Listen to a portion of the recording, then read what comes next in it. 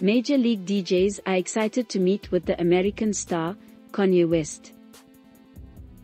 The South African stars claim they met him while in Paris, France. They exuded excitement as the link-up enhances their growth at the international level. Major League Djz didn't reveal anything aside from the link-up, but it won't be surprising if it births an Amapiano collabo, as the two are intentional in blowing up the genre across the globe. Link up with the in Paris, we gone, the DJ wrote.